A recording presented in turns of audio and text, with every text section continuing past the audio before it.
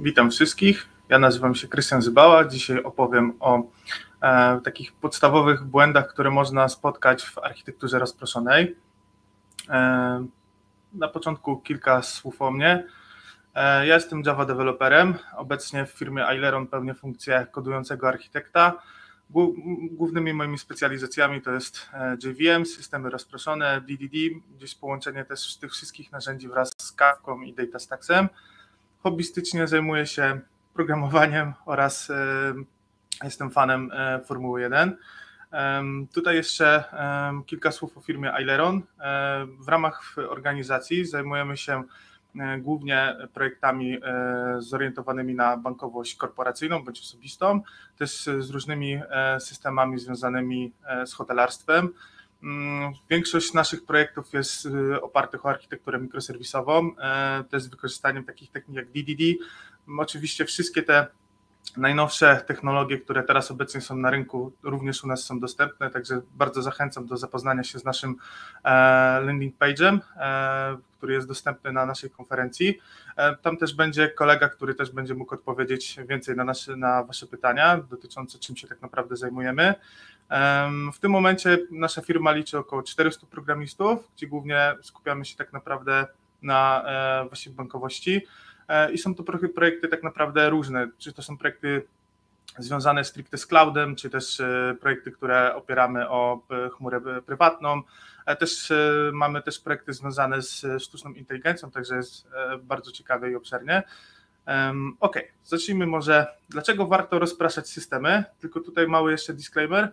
Zajmę się głównie tematem związanym z mikroserwisami po przemyśleniu, ponieważ e, systemy rozproszone i mikroserwisy są dość, e, można powiedzieć, w pewien sposób e, rozdzielne, natomiast też mają wspólne cechy.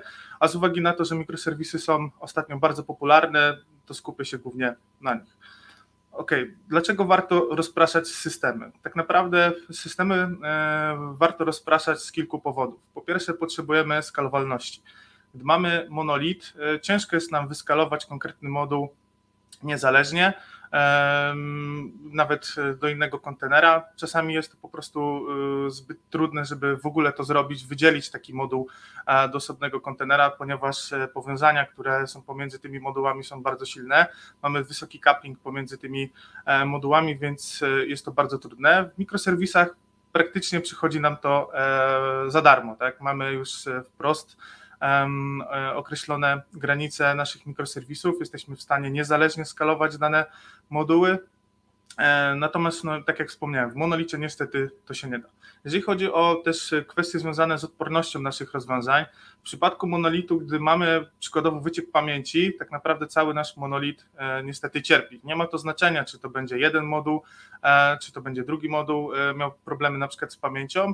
Generalnie całe nasze rozwiązanie cierpi. W przypadku mikroserwisów mamy tą możliwość, że przypadku, gdy mamy jakiś wyciek pamięci w konkretnym module, w konkretnym mikroserwisie, to tak naprawdę nie powinno to wpływać na nasz system. Natomiast Dalej też będę opowiadał, kiedy tak naprawdę możemy się spotkać z sytuacjami, gdy to, gdzie to afektuje na nasz system. Polyglot, no w przypadku architektury mikroserwisowej jesteśmy łatwo tak naprawdę e, w stanie budować nasz e, system w oparciu o różne technologie, czy to jest Python, Java, PHP czy cokolwiek innego.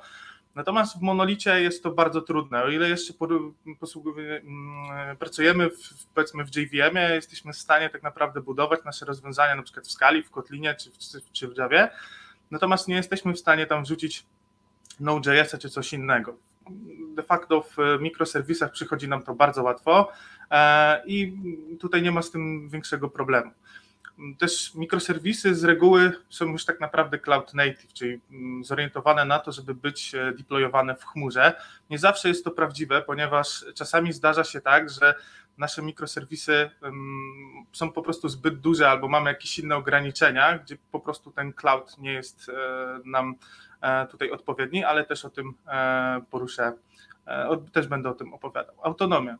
Jeżeli chodzi o autonomię, w przypadku monolitu praktycznie tej autonomii nie ma. Gdy chcemy skalować niezależnie nasz e, monolit, konkretnie moduł, mamy kilku interesariuszy, którzy chcą niezależnie releasować swoje e, moduły, no to jest tak naprawdę ciężko. Musimy tworzyć Uber releasy, które powodują, że wszyscy muszą być skomitowani na jakieś określone funkcjonalności, dowieść te funkcjonalności i jednym tak naprawdę strzałem to deployować. W przypadku architektury mikroserwisowej jest to bardzo łatwo, ponieważ tak naprawdę możemy e, deployować nasze komponenty niezależnie, e, co nam to daje, że nie tylko mamy e, odseparowane releasy czy deploymenty, natomiast też różne zespoły mogą nad tymi mikroserwisami pracować. Tutaj też zyskujemy tą dodatkową, dodatkową jakby autonomię w postaci tego, że nie muszą zespoły ze sobą współpracować na jednym codebase, to jest generalnie bardzo e, wygodne. I takim często niespotykanym e, powodem, dlaczego w ogóle rozpraszamy system, to są wymagania biznesowe. I to, to wynika z tego, że czasem e, pojawia się mm, przykładowo jakaś szansa na przykład na strategiczny, na strategię firmy, gdzie musimy po prostu pewne szlaki przetrzeć i musimy wejść w tą architekturę, tak aby zdobyć to doświadczenie. I tak jak e, już wcześniej wspomniałem, często bywa tak, że pojawiają się różne osoby, które, które mówią bardzo fajne zdania, natomiast tak na dobrą sprawę, gdy nasza organizacja nie ma w tym doświadczenia albo nasze zespoły nie mają w tym doświadczenia, to powoduje to tyle, że możemy spotkać się z wielką katastrofą po jakimś czasie. Ok. Często jak mamy jakiś projekt, który już zaczynamy, powiedzmy to jest Greenfield, spotykamy się z takim podejściem jak zootechnologii. Co to dokładnie oznacza? Mamy tak naprawdę Greenfield, chcemy wystartować z jakimś projektem, ale deweloperzy często nie chcą w tym pracować, w czym już pracowali. Chcieliby wrzucić jakieś fajne zabawki e, do nowego projektu i tym tak naprawdę się zajmować. I to jest wszystko fajnie, fajnie jest wyjść ze strefy komfortu, poznać jakieś nowe technologie, tylko gdy nie mamy w tym doświadczenia, to warto wystartować e, z czymś, co już znamy. Ciężko jest przełożyć doświadczenia z Node.jsa na przykład do Springa i odwrotnie. Czy często jest tak, że mamy doświadczenie w jakiejś technologii, chcemy wejść w drugą i tak naprawdę nie mamy pojęcia, albo nawet nie przeczytaliśmy dokumentacji, tylko jakiś tam e, tutorial, który mniej więcej opisuje nam, jak dana technologia działa. Taki przykład, który jest e, bardzo łatwo można powiedzieć, to jest to, że deweloperzy często wrzucają jakieś technologie na freestylu, czyli wprowadzają powiedzmy jakąś bazę NoSQL-ową, która jest, e, która ma swoje jakieś pewne wyzwania i pewne zachowania, natomiast oczekują, że na przykład zachowa się to jak baza SQL-owa typu na przykład Oracle. Ok.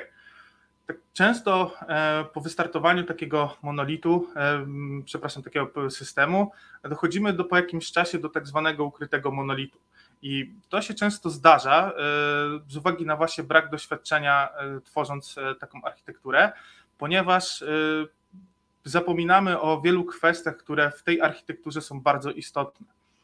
Na przykład, deweloperzy często traktują ten system w ogóle jako monolit. Co to oznacza? Że traktują każdy moduł jako coś, co jest 100% dostępne, e, nie ma żadnych problemów z latency, z SLA tego komponentu, e, czy też nawet e, nie wnikają czasami w kontrakt, czy on jest poprawny, czy on jest niepoprawny, nie dbają o wersjonowanie, już nie mówiąc o dbaniu o komunikację. Są, często są nieświadomi tej komunikacji, co to oznacza, że jeżeli odpalimy sobie pięć dockerów na naszym localhoście, to wszystko działa i to ma się super fajnie, natomiast problem jest taki, że gdy wejdziemy już na produkcję, często bywa tak, że jakieś pakiety nie dochodzą, z czym jest problem, na przykład z, mamy problemy z partycjonowaniem, kawką, konsystencją i tak dalej.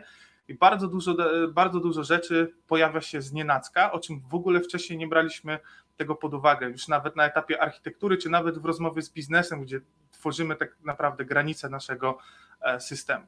Często też mamy taki problem, że szerujemy dane przez bazę danych. I tu już nie mówię o takim karygodnym e, podejściu, gdzie mamy jedną bazę danych i wiele mikroserwisów, ale też w przypadku, gdy mamy właśnie e, taki distributed monolith, natomiast cały czas mamy tak gorliwe podejście do, znaczy tak gorliwie pobieramy dane z jednego do drugiego modułu, gdzie e, już to powoduje nam pewien coupling i powoduje to tak, że jeżeli jeden moduł nie działa, praktycznie nasz cały proces jest uziemiony.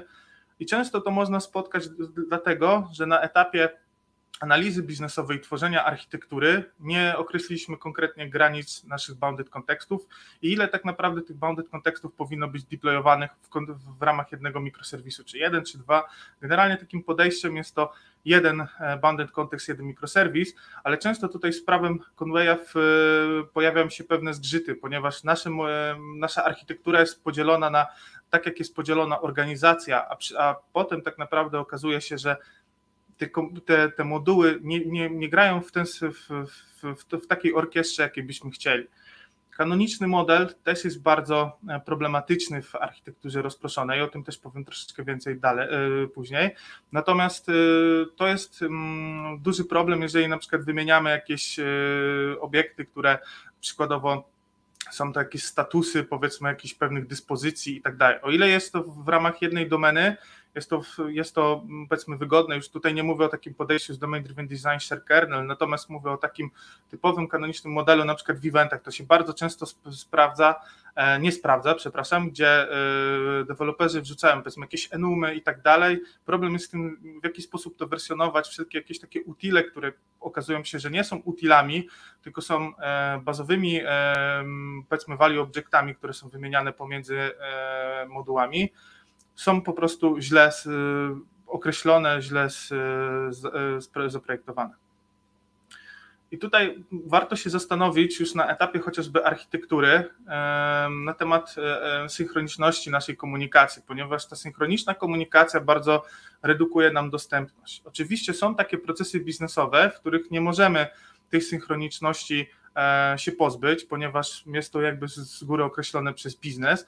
Natomiast w większości przypadków, gdy tworzymy architekturę mikroserwisową, nie zwracamy w ogóle na to uwagi, a potem w przypadku właśnie już takich e, wejścia na produkcję często pojawiają się problemy. Już nie mówię tutaj o, o problemach z samą e, stricte komunikacją, natomiast jakby też z czasem odpowiedzi i tak dalej, i tak dalej, budowaniem jakichś modeli i, i data locality.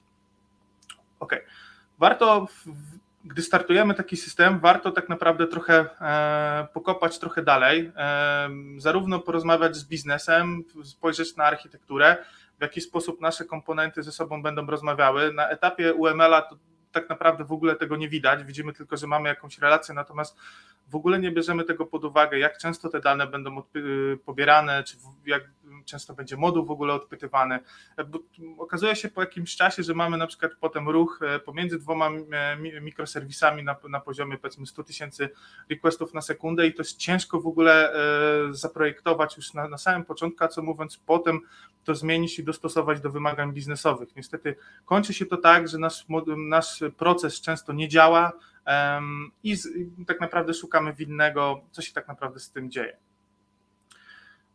bardzo spodobało mi się takie, e, takie, e, taki pattern, który jest często też określany w mikroserwisach, czyli mm, pattern muskietera, muskieterów. Co to oznacza? Mamy klasyczny przykład, gdzie mamy komponent A, który po HTTP synchronicznie wywołuje komponent B, e, komponent B wywołuje C, komponent C wywołuje komponent D, a D wywołuje E.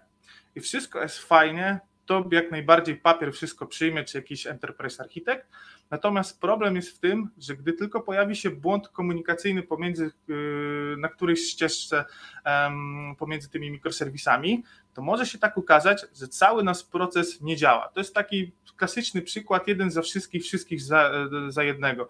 Niestety tak często kończą się właśnie e, te systemy, w których nie, nie zwracamy uwagi w ogóle na, e, na tą komunikację, tylko wywołujemy jedną, drugą, trzecią usługę, wszystko jest fajnie, bo na alkoholście nam działa. Czasami nawet na stage'u nie wychodzą te e, problemy, ponieważ tam nie ma praktycznie ruchu, więc cokolwiek byśmy nie napisali, nawet jakiś najgorszy kod, praktycznie będzie to zawsze działać.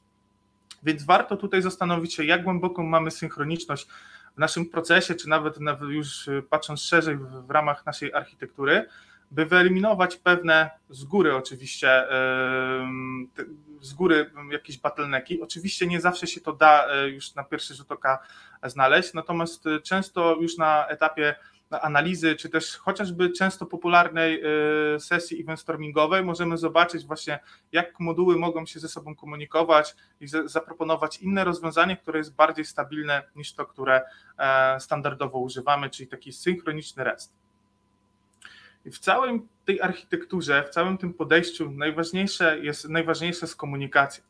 Bez komunikacji nasz system nie będzie działał. Gdy nie poświęcimy cennej uwagi do, na komunikację, okazuje się po czasie, że nie jesteśmy w stanie się z tego wycofać. Albo refaktor jest tak duży, i tak drogi, że po prostu czasem się to nie opłaca. Już popłynęliśmy z tym, nie da się z tym nic zrobić.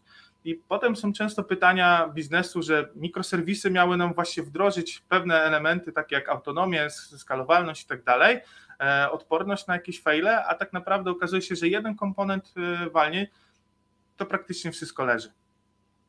I Mm, parę lat temu Peter Deutsch określił osiem takich zasad, które e, pojawiają się w mikroserwisach, e, znaczy takich kłamstewek, które dotyczą e, architektury rozproszonej. I pierwsze z nich to jest to, że sieć jest niezawodna.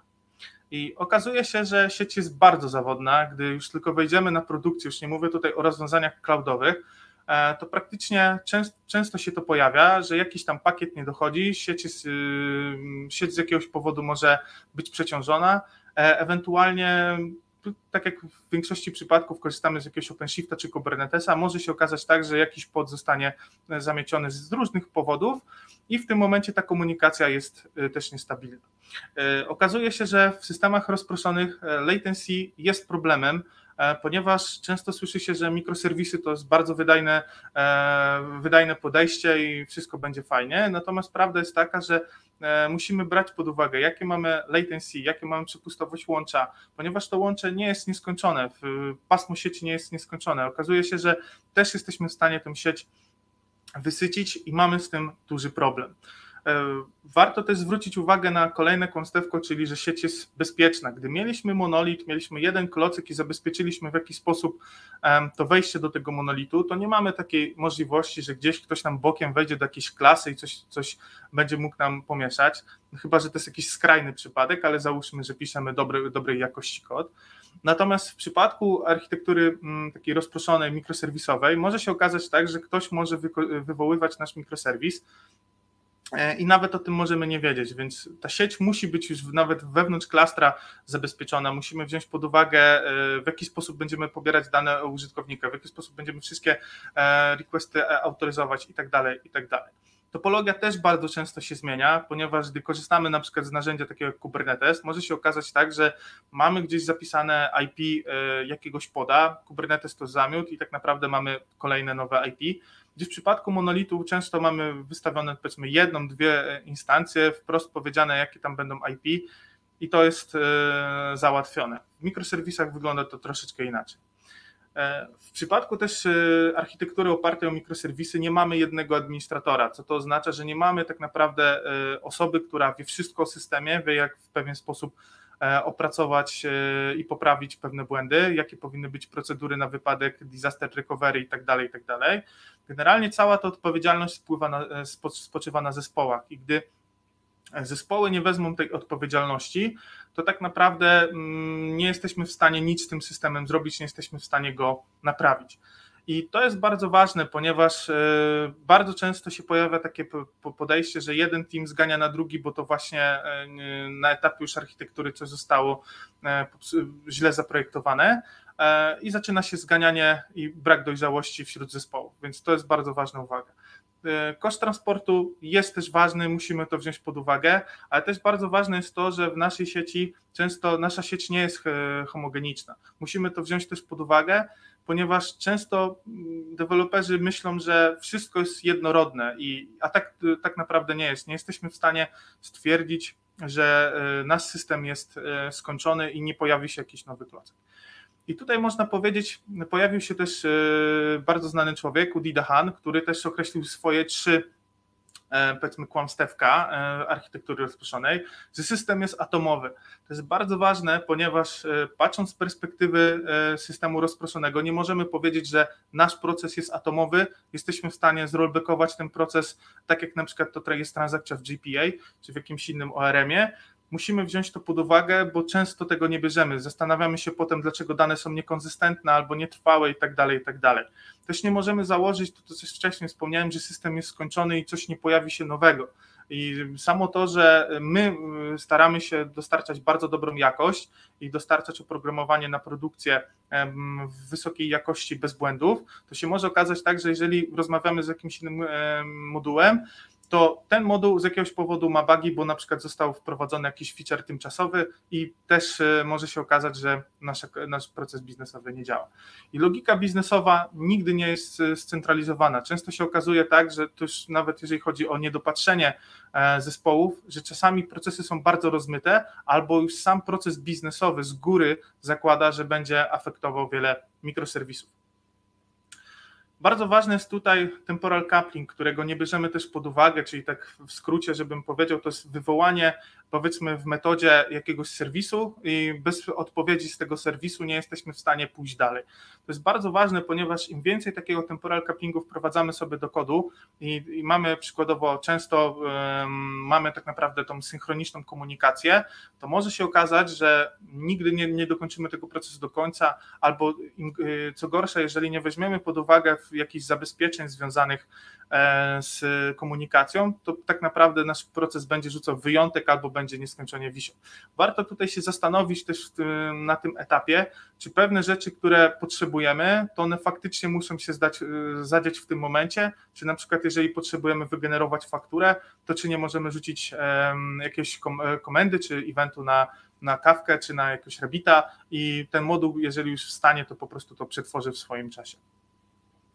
Dlatego warto preferować tą asynchroniczną komunikację, ponieważ ona jest bardziej niezawodna od e, komunikacji mm, synchronicznej.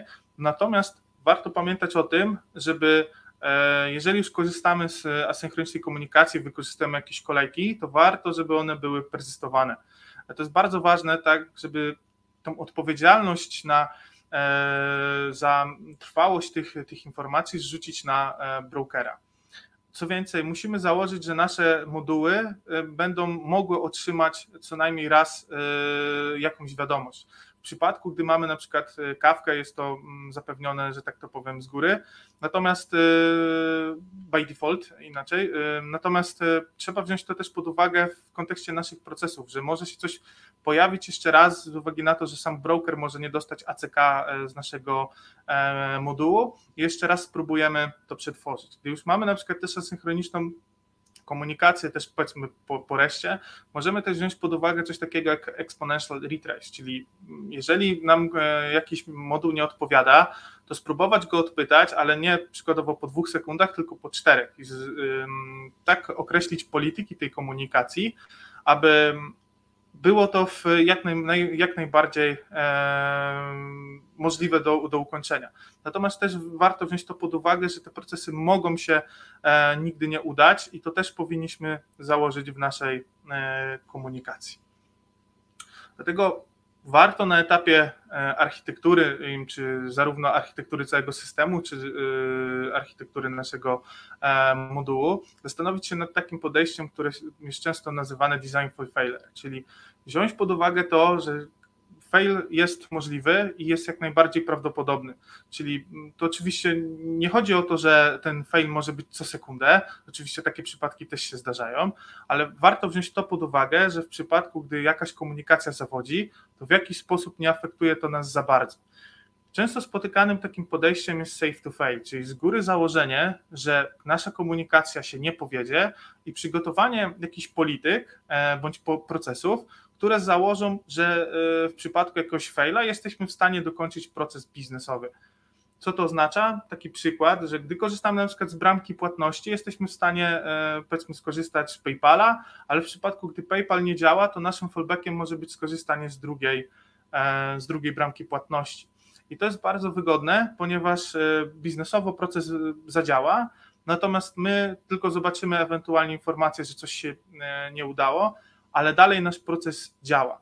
I w tym przypadku warto też zastanowić się nad takimi narzędziami jak właśnie Circuit Breaker, zastanowić się nad timeoutami, tak żeby nasze połączenia były stricte określone, jak długie te timeouty powinny być, ile powinniśmy wykonać retry i tak dalej, i tak dalej.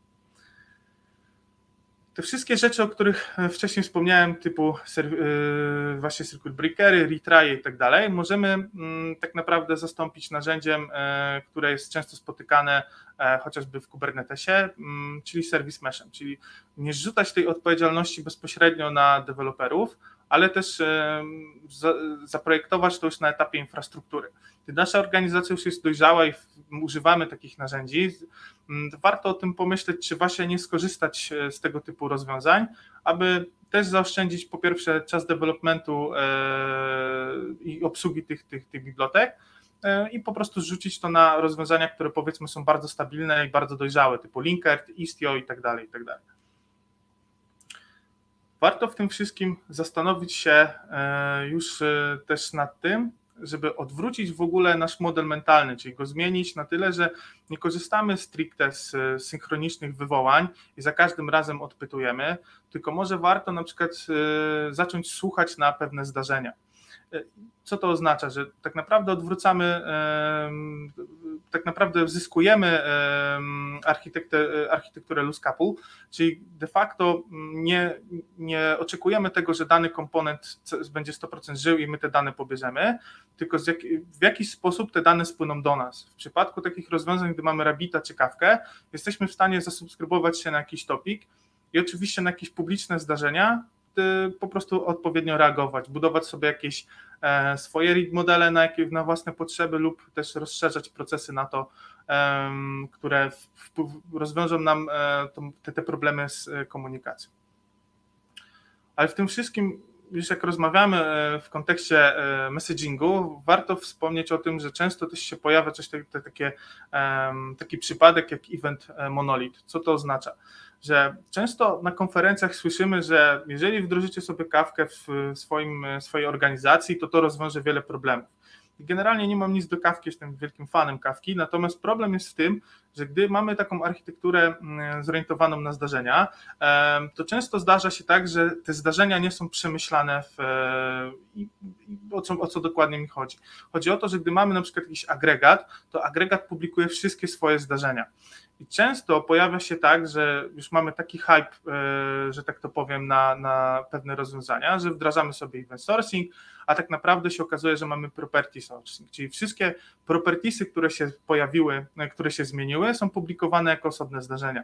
I to powoduje, że mamy taką sytuację, że zdarzenie jest, można powiedzieć, anemiczne. Nie jest w ogóle kontekstowe, nie mówi, co się stało, tylko pokazuje wprost, które pole w danym mikroserwisie się, e, w którym, e, w które pole w danym agregacie się zmieniło a to powoduje, że mamy bardzo szybki problem e, chociażby z wersjonowaniem, ze zmianami kompatybilnie wstecz i tak dalej, tak dalej, bo wszyscy zaczynają tak naprawdę e, obsługiwać e, te pola, zastanawiać się, jak ta logika powinna zadziałać. Ten proces biznesowy też jest rozmyty.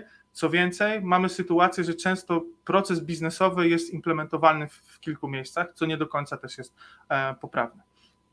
E, więc warto zastanowić się, co dokładnie emitujemy, zastanowić się, w jaki sposób będziemy to utrzymywać i wersjonować. A dlaczego w ogóle mówimy o messagingu? Ponieważ messaging tak naprawdę jest asynchroniczny by default.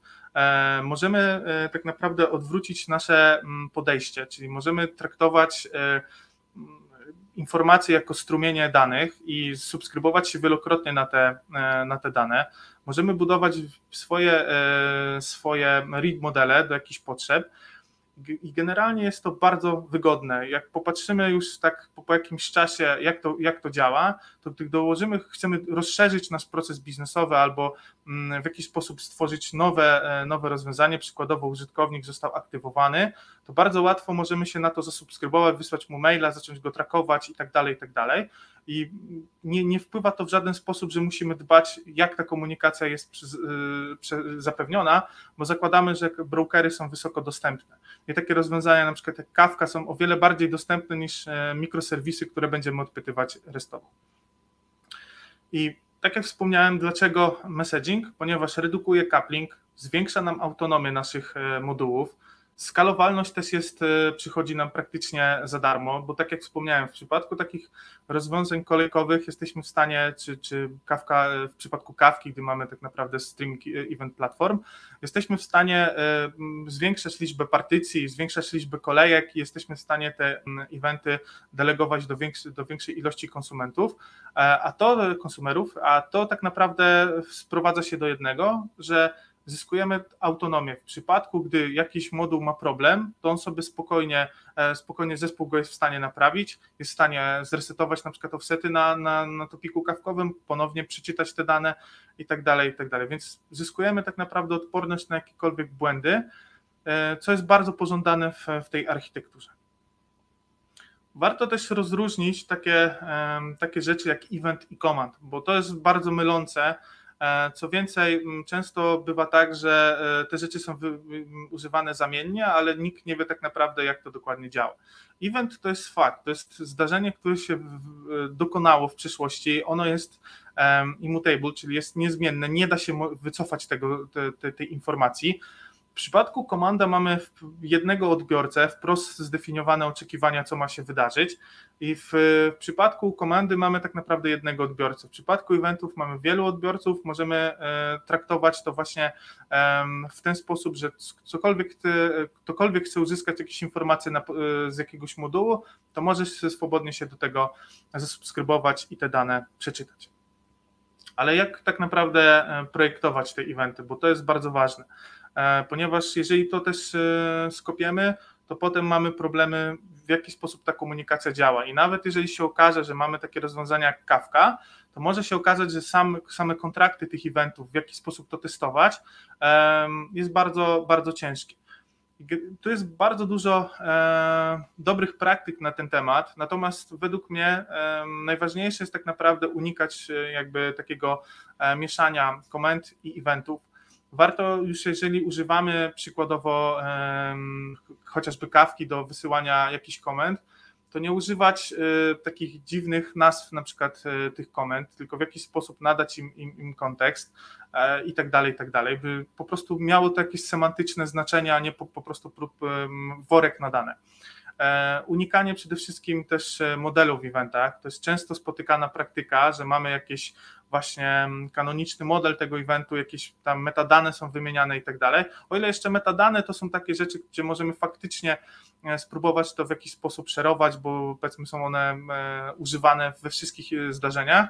Natomiast warto wziąć to pod uwagę, że jeżeli mamy przykładowo statusy jakiegoś użytkownika czy rachunku bankowego, to mm, nie, nie, nie, nie wdrażać kanonicznego modelu do tego, ponieważ to się może dynamicznie zmieniać. E, moduł, który jest odpowiedzialny za, dany, e, za, dany, za daną dziedzinę, może te, te dane zmieniać, w jakiś sposób żonglować, a to powoduje, że jeżeli mamy takie rozwiązania jak Enum, to już mamy z góry określone, że jeżeli coś się zmieni, prawdopodobnie mamy problem chociażby z serializacją albo deserializacją. Um, użycie tak naprawdę czasu przeszłego, ponieważ to jest fakt w przypadku eventów, używanie tak naprawdę poprawnego wersjonowania. I co to oznacza? Że jeżeli e, Często spotykałem się z sytuacją, że zmieniliśmy e, cokolwiek w evencie, dodaliśmy nową rzecz. Ona była kompatybilna wstecz, więc wersja nie została zmieniona. To jeszcze można gdzieś tam to przyjąć. Natomiast okazywało się, że często po jakimś czasie pole zostało usunięte i też było tak, że nie była ta wersja zmieniana, ponieważ używaliśmy takiego rozwiązania jak Spring Cloud Contract, gdzie trzeba było te kontrakty od nowa e, weryfikować, wdrażać całą politykę wersjonowania, informować jakby naszych kolaboratorów itd., tak itd., tak co jest mega problematyczne. I w takim przypadku warto używać Schema Registry, ponieważ pewne rzeczy spoczywają na tym rozwiązaniu, mamy tam zapewnione wersjonowanie, co więcej też możemy używać skim, e, które są, e, są ściśle typujące, bo JSON jest bardzo fajny, natomiast wszystko jesteśmy tam w stanie wrzucić i nikt za bardzo nad tym nie, nie ma kontroli. A też po jakimś czasie okazuje się, że wielkość tego JSONa ciągle rośnie, ciągle rośnie i zamiast przejść na jakieś rozwiązanie, które stricte jest rozwiązaniem e, bajtowym, jest szybkie w serializacji, no to używamy tego, co najbardziej znamy, co nie do końca też jakby chce nam się w ogóle zmieniać, bo bo jest tym e, problem po jakimś czasie. I nadanie tak naprawdę semantycznej nazwy tym eventom, czyli jeżeli user został aktywowany, to to jest fakt i nadać po prostu e, taką nazwę temu zdarzeniu i tak się po, po prostu tym posługiwać, tak żeby w ramach tego zdarzenia była po prostu informacja, że ten użytkownik o takim ID jest aktywowany. A co to dokładnie znaczy, to się nie interesujcie, e, bo to jest jakby domena konkretnego modułu. Jeżeli chodzi też o, o, dane w mikroserwisach, to jest bardzo istotny temat, to jest bardzo powiązany z tym, co wcześniej mówiłem, że podchodzimy do tego w ten sposób, że odpytujemy inne moduły, bo jest nam bardzo wygodnie. E, jest to najprostszy rodzaj komunikacji, najszybciej jesteśmy w stanie tam REST się dobrać do, do jakiegoś e, e, modułu i pobierać sobie te dane, tylko to niestety nie sprawdza się przy dużej skali. Okazuje się, że w przypadku, gdy mamy jakieś masowe przetwarzania i gorliwie potrzebujemy jakichś danych z innego modułu, to nagle, jeżeli deweloperzy popełnią błąd i pójdą w stronę właśnie restowej komunikacji, to możemy stworzyć sobie DDoS-a na, na nasz własny system. I bardzo ważne jest to, że jeżeli korzystamy właśnie z takich rozwiązań e, eventowych, mamy właśnie messaging wprowadzony, czy event-driven architecture, to jesteśmy w stanie tak na dobrą sprawę budować e, własny read model na własne potrzeby. Oczywiście nie musi być to komplet danych, ale e, jakby keszować sobie te dane blisko własnego modułu, ponieważ jeżeli skaczemy tak z jednego do drugiego modułu po te dane, to może się okazać tak, że nie tylko musimy obsłużyć ruch, który wystawiamy powiedzmy dla aplikacji frontendowych, przez aplikację frontendową, ale też musimy wewnętrzny ruch obsłużyć i często tego nie bierzemy pod uwagę. Często też nie pytamy o SLA tych komponentów, a to powoduje, że znowu mamy coupling. Jeżeli coś się, cokolwiek się wydarzy, ta komunikacja zawiedzie, mamy problem i nasz proces biznesowy nie działa. I to jest taki też temat, który bardzo e, jest E, bardzo ważne w kontekście już samego mikroserwisu, czyli e, architektura heksagonalna. Natomiast warto też to wziąć w przypadku systemów e, rozproszonych i o co mi dokładnie chodzi. Chodzi mi o to, że jeżeli mamy nasz system, powiedzmy ten system, który granica naszego systemu to jest to zielone, to musimy wziąć pod uwagę to, że jeżeli komunikujemy się z zewnętrznym systemem, to warto wprowadzić takie rozwiązania jak ACL, czyli Anti-Corruption Layer. Po co to w ogóle jest? Wielokrotnie mm, komunikujemy się z jakimiś systemami zewnętrznymi. Jeżeli e, tutaj nie przywiążemy uwagi, nie zrobimy jakichś adapterów, które te mm, dane będą e, przemapowywać na nasze wewnętrzne pojęcia, to potem się po jakimś czasie okazuje, że pojęcia z systemu trzeciego pojawiają się w naszym systemie i niestety zaczyna to być tak, tak widoczne i tak się rozpowszechnia jak wirus, który tak naprawdę widnieje we wszystkich, e, we wszystkich modułach i gdzieś ta informacja ciągle e, semantyczna jest przechowywana. Gdy chcemy się z tego wycofać, jest to niestety problem, bo zaczynamy to traktować w jakiś określony sposób, dokładamy do tego specjalną logikę i warto sobie to na, na samym początku już odseparować, czyli nasz system jest niezależny, mamy jakieś adaptery, jakieś warstwy, które będą nam e, dokonywać tej translacji, tak aby posługiwać się wewnętrznym językiem, a nie e, językiem, który jest z systemów trzecich. Kolejnym e, błędnym takim założeniem, które zakładamy często jako deweloperzy, to to, że nasze systemy są transakcyjne. I tutaj to jest ok, bo transakcje biznesowe jak najbardziej istnieją, natomiast deweloperzy często podchodzą do tego tak, że system jest E, transakcyjny jak transakcja w JPA. I co to dokładnie oznacza? Że jeżeli wykonamy jakąś akcję, to ona jest spójna natychmiast. I, w przypadku, gdy jeszcze korzystamy z takiego podejścia jak CQRS, gdzie zapisujemy te dane do, do komanda, okazuje się, że często ktoś za chwilę mówi, ale zaraz, zaraz, my w, na, na formatce nie widzimy tego, albo na liście tego nie ma. I okazuje się, że mm, już od samego początku źle tak naprawdę do tego podchodzimy, bo nie informujemy biznesu o tym, że E, nasz system nie jest do końca taki spójny natychmiastowo, on będzie końcowo spójny i zamiast tutaj podejść e, takim podejściem ACID, powinniśmy podejść e, podejściem based, czyli tak naprawdę basically available, czyli zamiast wymuszać natychmiastową spójność, zakładamy, że ta spójność będzie, natomiast ona tak naprawdę spoczywa, e, tu jakby gwarantuje nam to, że dane będą e, rozciągnięte w klaszcze i gwarantuje nam tą bazową dostępność. E, dodatkowo mamy soft state, czyli też zakładamy, że to wszystko spoczywa w rękach, że dane nie muszą być natychmiastowo się zmieniać w czasie, natomiast też jakby w całym tym modelu based ściągamy tą jakby odpowiedzialność trochę na deweloperów, w jaki sposób to ograć. I często takim przykładem może być to, że gdy zmienimy trochę pytanie biznesu, czy to ma, ma się odbyć natychmiastowo, to gdy zadamy pytanie, czy jeżeli to się stanie w ciągu 15 sekund, to będzie ok, to taką, to często biznes potwierdza tak, będzie to ok. Natomiast my z jakiegoś powodu nie rozmawiamy z tym biznesem i tylko po prostu mamy onaniz techniczny, który wprowadzamy sobie do naszej e, architektury i po jakimś czasie niestety musimy z tymi problemami walczyć.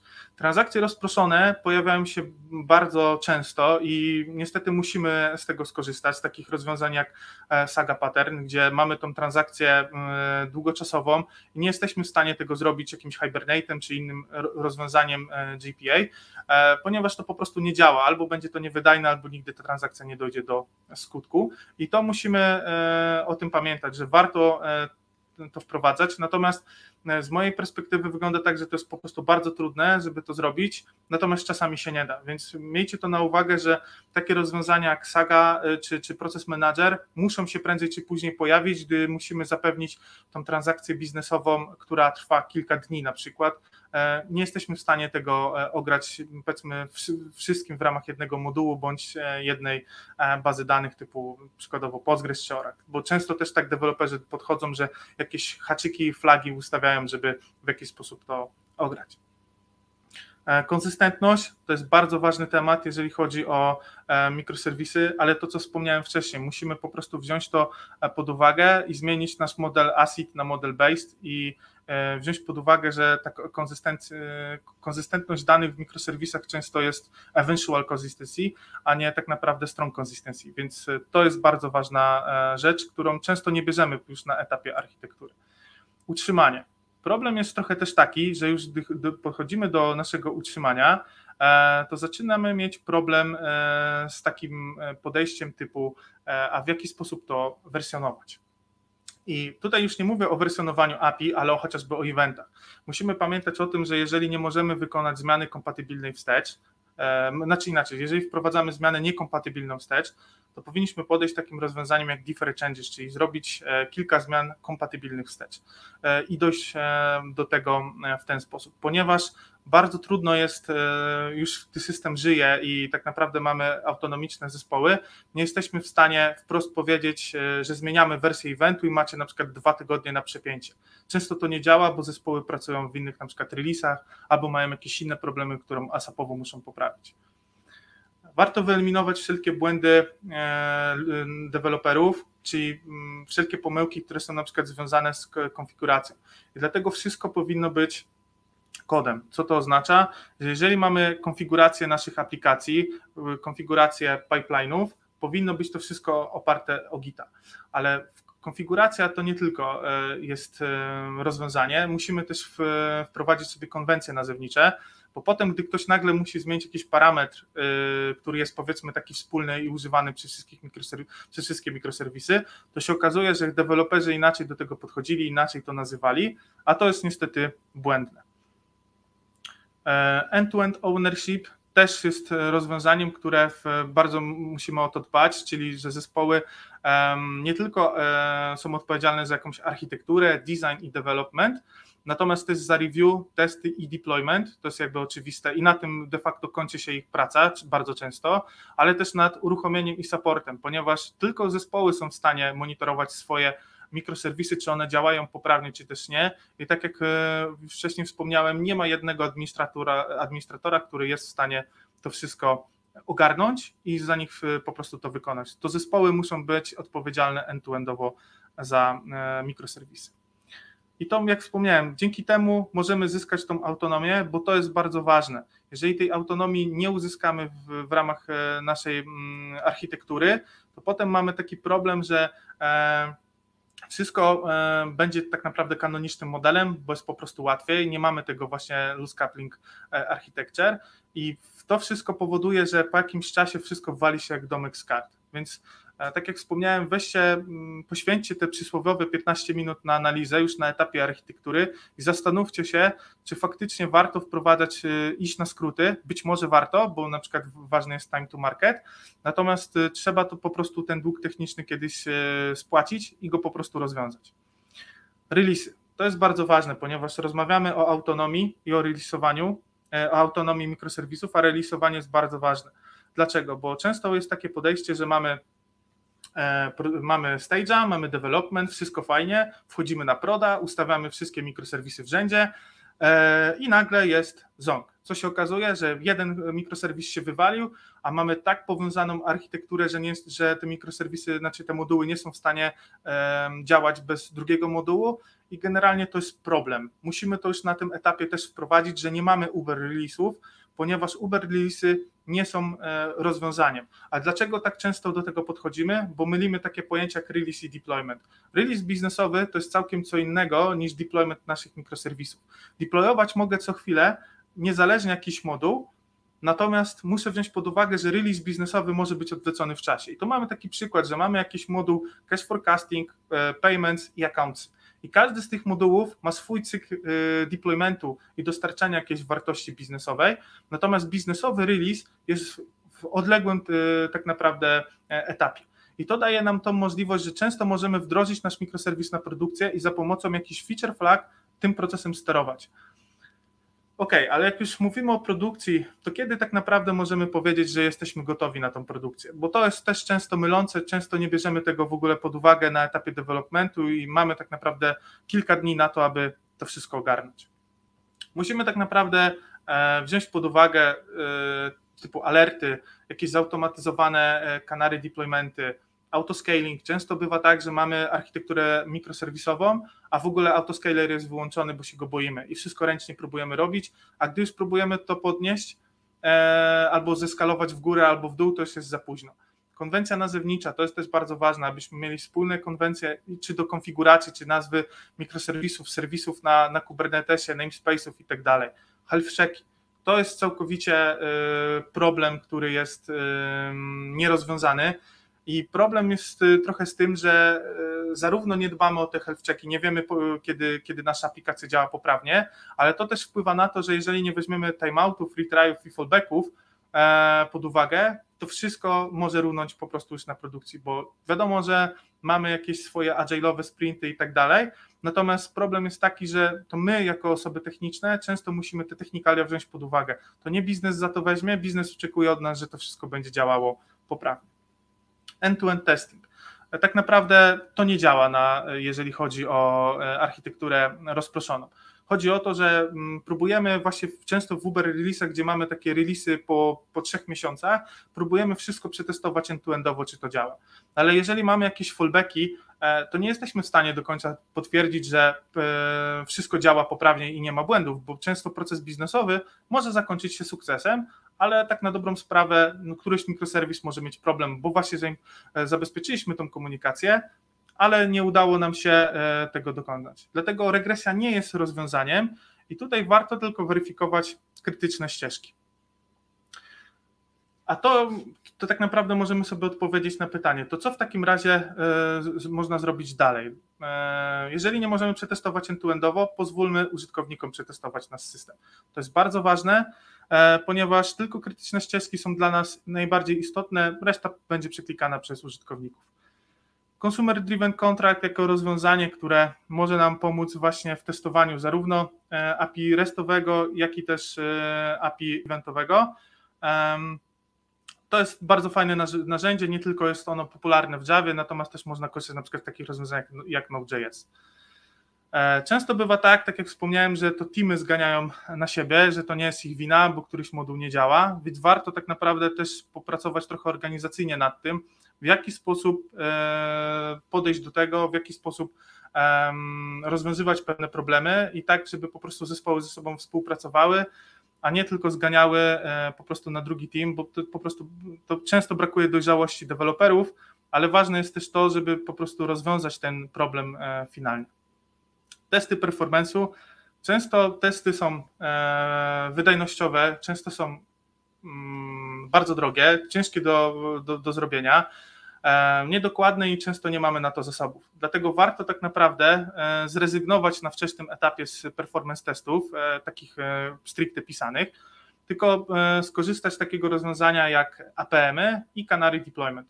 Dlaczego? Bo jeżeli tak naprawdę jesteśmy w stanie zdeployować naszą aplikację na, przykładowo na Kubernetesa i jesteśmy w stanie tam przekierować jakiś częściowy ruch, to już wcześniej jesteśmy w stanie stwierdzić, czy coś się dzieje z naszą aplikacją, czy też nie. I w razie czego wyłączyć za pomocą feature flag. To jest bardzo wygodne, ponieważ powoduje to tak naprawdę nam autonomię i możliwość przetestowania naszego procesu wcześniej.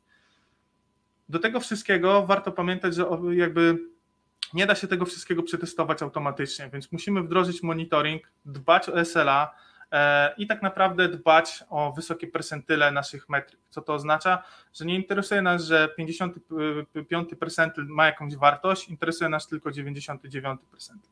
Ale też trzeba pamiętać o tym, że jeżeli te percentyle sobie mnożymy, to w przypadku percentylu 99 i 9 ta niedostępność to jest minuta 26. Natomiast jeżeli mamy w procesie 6 mikroserwisów, to ta niedostępność już niestety jest e, o wiele większa i często to jest powyżej 7 minut. Więc też musimy to wziąć pod uwagę, że im więcej procesów bierze, e, bierzemy pod uwagę e, w ramach procesu biznesowego, tym niekoniecznie musi być lepiej. Security to jest bardzo ważny temat, musicie o tym też wziąć pod uwagę. Czy to będzie JWT, czy jakiś session token, czy jakieś dodatkowe zabezpieczenia security wewnątrz klastra kubernetesowego, czy jakieś sidecary, musicie po prostu wziąć to pod uwagę, bo bez tego się nie da. I pamiętajcie jeszcze o tym, że często te wszystkie e, mechanizmy opierają się na dwóch zasadach, czy to jest stateful, czy stateless. Tutaj już brakuje mi czasu, natomiast stateless tak naprawdę został e, bardzo dobrze zaimplementowany w JWT, gdzie te wszystkie informacje są zawarte po prostu w tokenie. E, czasami to wszystko musimy powiedzieć, że brakuje nam wizji na ten system, nie wiemy jak do tego podejść, brakuje nam doświadczenia i niestety kończy się to taką big ball of mud, które po trzech latach, czterech latach, pięciu latach systemu nie jesteśmy w stanie po prostu zapanować. Jeszcze taka mała informacja na sam koniec. E, firma Aileron zorganizowała konkurs, można wygrać bardzo fajne rzeczy. Skanując ten QR kod bądź wchodząc na landing page Aileronu możecie wziąć udział w konkursie i wygrać e, tam sześć e, fajnych nagród. Zachęcam, bo zadanie jest bardzo proste, natomiast nagrody są bardzo fajne. Dziękuję Wam za uwagę i teraz jeżeli są jakieś pytania, to chętnie na nie odpowiem.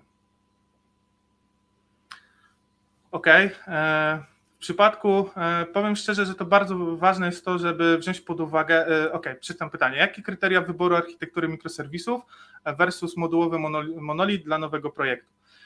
Warto kierować się taką zasadą, że jeżeli nasz team nie jest, nie jest tak naprawdę doświadczony w architekturze mikroserwisowej, to można rozważyć tak naprawdę modułowy monolit Dodatkowo też warto się zastanowić, ile zespołów będzie na początku pracowało nad tym projektem.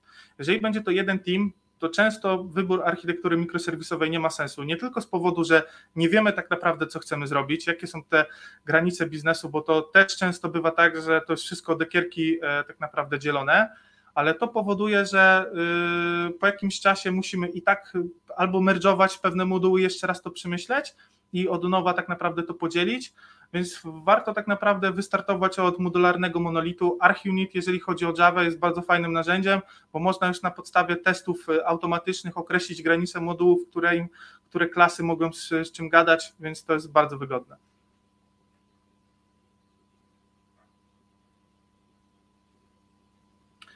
OK, jak tworzyć gateway w celach edukacyjnych? Można to zrobić samodzielnie, ale pewnie lepiej skorzystać z gotowych usług. E, jeżeli chodzi o Java, mm, to Spring dostarcza Spring Cloud Gateway. Jest to bardzo fajne narzędzie, napisane w sposób reaktywny.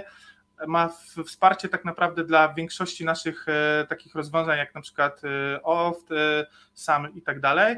I mm, konfiguracja też jest bardzo wygodna, bo możemy to wszystko w, jakby w, mieć w, w gicie i z poziomu config serwera tego, tym korzystać. Natomiast jeżeli chodzi o inne technologie, no to nie wiem jak to wygląda. Wiem, że w dotnecie też jest y, rozwiązanie, które też y, korzystaliśmy, też jest rozwiązanie, które działa w bardzo podobny sposób. Tych narzędzi naprawdę jest y, sporo, natomiast setup takiego gatewaya w Springu to jest tak naprawdę około 2-3 minut. To jest ściągnięcie e, tego, tego rozwiązania e, powiedzmy ze Start Spring.io i tak naprawdę wskazanie e, tak prediction URL, gdzie ma kierować, więc to jest bardzo proste. Połączenie z Eureką, takimi narzędziami mamy za darmo. Jaki jest sens używania testów CDC dla kawki, skoro mamy schema registry? Um, OK, natomiast e, jeżeli mamy schema registry, rozwiązuje nam to bardzo dużo problemów ponieważ no jak sam pewnie wiesz, skima tak naprawdę, skima registry pilnuje nam tego kontraktu. Natomiast testów CDC bardzo można używać też do komunikacji pomiędzy mikroserwisami. I przykładowo, jeżeli mamy dwa moduły, powiedzmy mamy accounty i paymenty, to możemy wymienić sobie tak zwane staby, tak jest to, taka nomenklatura jest wprowadzona w Spring Cloud Contract i ten zespół jest w stanie odpalić sobie testy automatyczne na podstawie tego staba i wygenerować sobie E, odpowiedni event bądź kilka eventów i z, tak naprawdę e, zrobić testy integracyjne całego rozwiązania. E, to jest, to, to jest bardzo wygodne. W przypadku Schema Registry no, takiej automatyzacji stricte nie, nie mamy, tak? czyli możemy sobie ściągnąć tylko kontrakt, ale musimy sami implementować wszystkie dane w do, do, do tego eventu i tak dalej, więc tutaj um, Spring Contract jest o tyle lepszy w tym przypadku, że E, dostarcza nam też tej możliwości testowania, nie tylko właśnie też e, samego messagingu, ale też API restowego.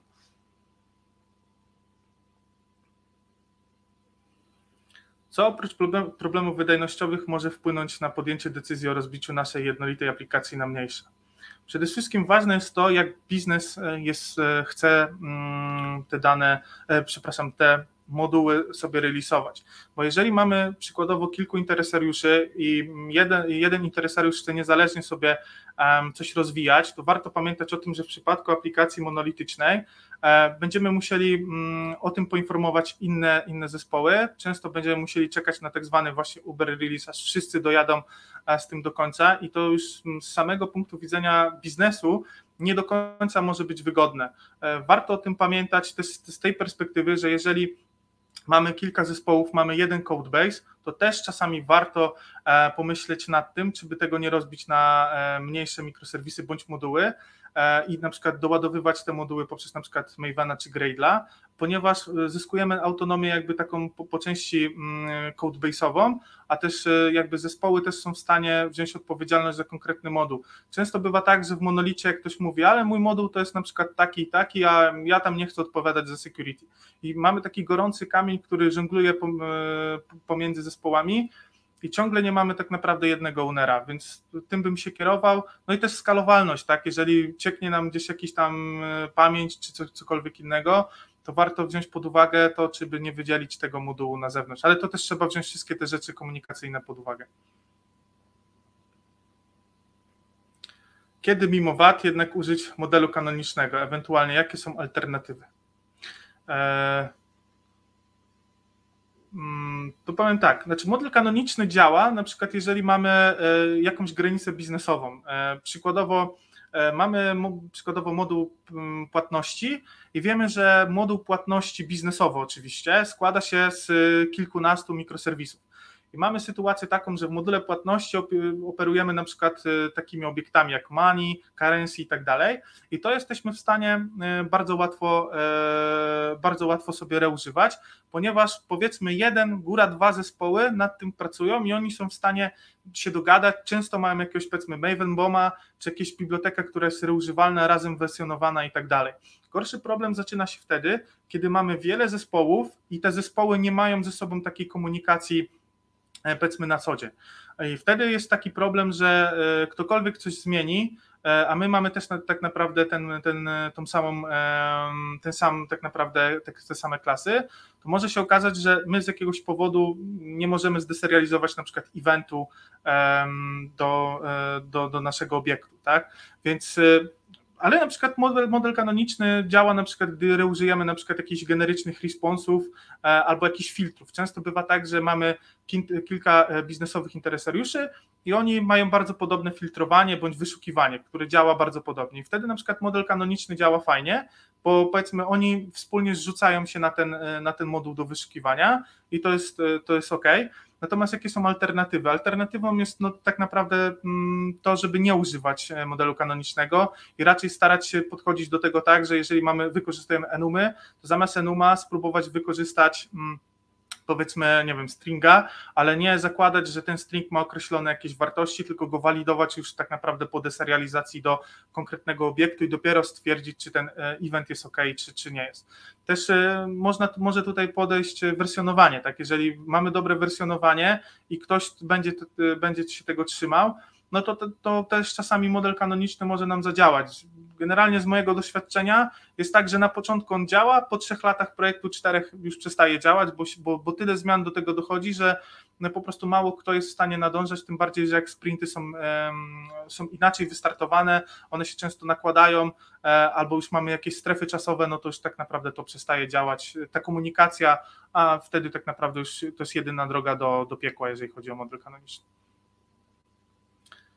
E, kanoniczny model jest pułapką, w której dany obiekt biznesowy znaczy co innego w różnych domenach. E, tak, to, to, to jest prawda i to też warto tak na dobrą sprawę już na etapie modelu, e, znaczy na, na etapie mm, analizy biznesowej określić sobie to słownictwo, tak, czyli co to, do, czym dokładnie my posługujemy się jako user i co to dokładnie oznacza, ale to samo pojęcie w jakimś kontekście może co innego oznaczać, więc warto sobie wprowadzić ten ubiquitous language, ale też e, w kontekście jakby modułu warto też wprowadzić takie podejście, które się nazywa publish language, czyli też żeby moduł ogłosił sobie jakieś publiczne e, nazewnictwo, tak żeby inny moduł też mógł w jakiś sposób kolaborować e, z tym modułem, ale żeby też jakaś warstwa powiedzmy przepięcia była, tak, czyli żeby one powiedzmy to jest kontrakt pomiędzy dwoma modułami, banded kontekstami, ale wewnątrz całkowicie może być co innego.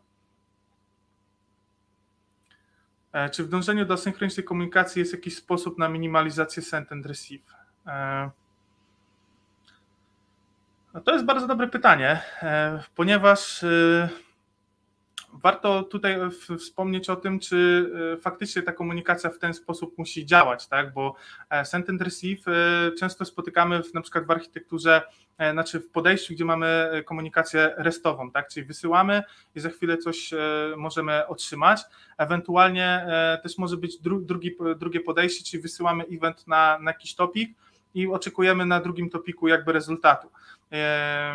I tak naprawdę minimalizacja tego, to wszystko zależy od, od kontekstu. Ciężko mi jest tutaj powiedzieć i podać taki przykład z głowy, tak na szybko, natomiast warto się tak naprawdę już, znaczy warto, jeżeli już mamy synchroniczną komunikację, to warto ją wdrażać powoli, tak? Czyli żeby nie robić takiej e, rewolucji, tylko bardziej ewolucję. Na początku w ramach powiedzmy jednego teamu sprawdzić, jak to nam działa, czy w ogóle nam to działa, jakie z tym mamy problemy, tak żeby też nie popaść w ten hype technologiczny, że wdrożymy sobie kawkę, wszystko fajnie, bo te rozwiązania, które się też pojawiają, wprowadzają nam nową złożoność i pewne mm, nieoczekiwane zachowania, których na początku nie znamy.